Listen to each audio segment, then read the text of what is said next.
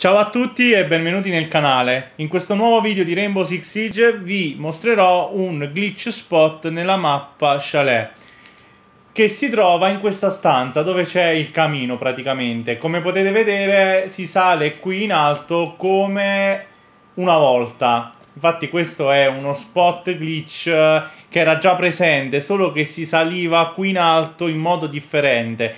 Adesso è tornato, però non avrete bisogno dello scudo o dello scatto da quella posizione.